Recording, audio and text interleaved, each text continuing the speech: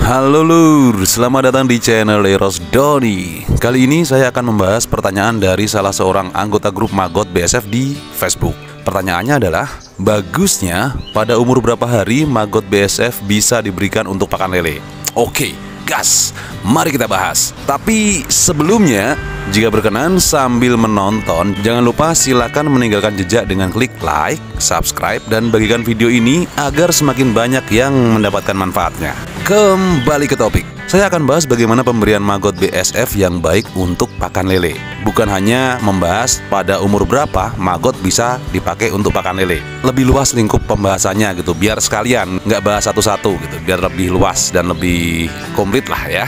Pemberian magot BSF sebagai pakan lele lur bisa diberikan dengan beberapa cara. Yang pertama adalah sebagai magot segar alias fresh magot. Yang kedua sebagai magot olahan, bisa dalam bentuk magot kering maupun pelet magot. Yang ketiga dalam bentuk kasgot, baik itu murni kasgot, kasgot utuh maupun kasgot yang bercampur dengan sisa-sisa magot. Sisa panen ya, kan ada sebagian magot yang masih tertinggal tuh di kasgot dan juga ada sisa-sisa kulit magot dan sebagainya. Intinya kasgot untuk pakan lele itu yang ketiga. Nah, pemberian magot BSF sebagai pakan lele itu harus disesuaikan antara umur dan juga takarannya. Sebagai catatan nih, saya lebih suka memberikan magot yang sudah direbus daripada magot segar untuk pakan ikan. Kenapa? Karena magot yang sudah direbus itu cangkangnya kan dia jadi lebih lembut, lebih rapuh dan lebih mudah dicerna oleh ikan daripada magot yang segar karena cangkangnya tuh lebih keras. Dan kalau kita ngerebus magot itu air rebusannya jangan dibuang ya karena air rebusan magot bekasnya itu sangat bagus untuk bahan POC, untuk bikin POC atau untuk bikin fermentasi pakan maupun dijadikan suplemen untuk ternak, untuk campuran minuman ternak maksudnya ya.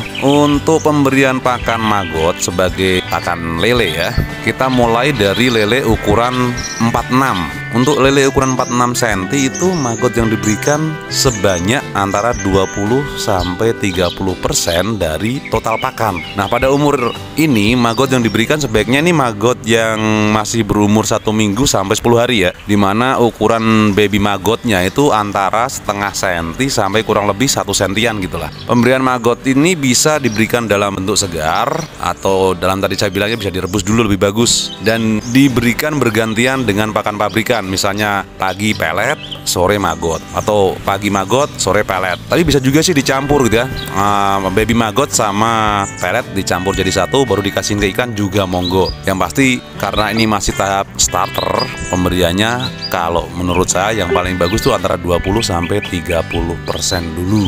Jangan langsung full untuk lele ukuran 7 sampai 14 itu sebaiknya maggot yang diberikan tuh maggot yang berumur 10 sampai 14 hari ya. Ukurannya antara 1 sampai 2 cm.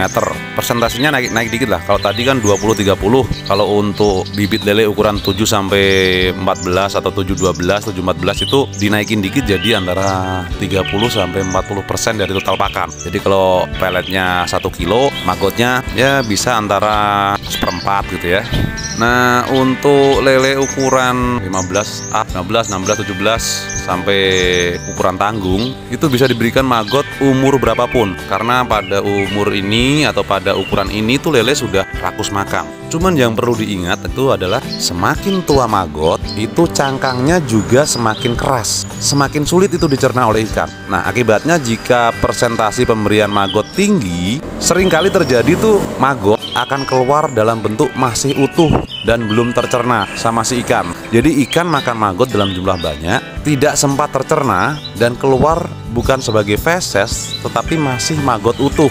Itu sering terjadi. Itu makanya kenapa pemberian maggot itu harus diukur jangan sampai over juga kan gitu. Biar nggak terjadi seperti ini. Dan cara lain untuk menghadapi ini ya itu tadi seperti saya bilang minimal direbus lah. Direbus selama beberapa menit gitu sampai kulitnya biar agak lunak gitu. Tapi jangan sampai hancur juga. Kulitnya agak lunak baru deh dikasihin ke ikan. Itu lebih mudah bagi ikan untuk mencernanya lebih bagus lagi sih kalau bisa tuh dibikin pelet maggot karena otomatis maggot hancur dan nutrisi juga bisa diserap maksimal oleh ikan. Nah, pemberian maggot olahan sebagai pakan ikan itu lebih efektif daripada diberikan hidup-hidup karena maggot olahan lebih mudah dicerna oleh ikan ya. Yang paling mudah ya direbus tadi, sedangkan untuk maggot kering itu agak lebih susah, next level. Perlu teknik dan juga peralatan khusus untuk bisa mengeringkan maggot, nggak asal-asalan gitu ya. Nah, maggot kering ini selain bagus untuk pakan ikan juga sangat bagus untuk pakan cadangan. Kalau maggot hidup kan jeda waktunya pendek nih, tapi kalau maggot kering itu bisa disimpan dalam jangka waktu yang panjang karena dia sudah kering dan masa pakainya itu lebih lama daripada maggot segar. Yang terakhir adalah pemberian kasgot sebagai pakan ikan. Kasgot yang bercampur dengan maggot sisa panen, kulit maggot karena proses molting alias ganti kulit, sisa pakan ayam, dan lain-lain sangat baik dijadikan sebagai pakan ikan. Kandungan protein, sitin, lemak, dan nutrisi lain yang ada pada kasgot sangat bagus untuk pertumbuhan ikan. Selain itu, kasgot juga berperan dalam mengurai gas amoniak dalam air kolam, sehingga kolam yang diberikan kasgot akan lebih sehat airnya dan juga tidak mudah berbau karena gas amoniak. Pemberian kasgot sebagai pakan lele meskipun sudah banyak ya yang membuktikan bisa 100% untuk ikan di atas 2 bulan, namun menurut saya sebaiknya tetap tidak melebihi 75% dari total pakan. Kenapa? Karena ikan itu memerlukan nutrisi lain yang tidak ada di dalam kasgot. Karena itulah maka tetap perlu diberikan pakan pabrikan, pelet ya sebagai pendamping. Saya sendiri dan beberapa magoter lain sudah membuktikan bahwa magot sangat bagus digunakan sebagai suplemen pakan ikan. Meskipun menurut pengalaman saya sebaiknya pemberian magot sekali lagi tidak lebih dari 75% untuk mendapatkan pertumbuhan ikan yang maksimal. Tapi dengan penggunaan magot BSF sebagai pakan ikan sangat membantu peternak ikan dalam meminimalisir biaya pakan yang merupakan beban biaya terbesar dalam budidaya ikan dan hasilnya bisa memaksimalkan keuntungan dalam beternak ikan. Oke, itu yang bisa saya bagikan mengenai cara aplikasi Magot BSF untuk pakan ikan. Semoga bermanfaat untuk sedulur semua. Selamat mencoba dan semoga berhasil. Jangan lupa tinggalkan jejak dengan klik like dan subscribe. Jika ada pertanyaan atau masukan, silahkan sampaikan dalam kolom komentar. Lalu, bagikan video ini agar semakin banyak yang mendapatkan manfaatnya dan channel ini juga bisa semakin berkembang. Terima kasih sudah menonton. Salam dari saya Rosdoni, Magoter Indonesia bisa.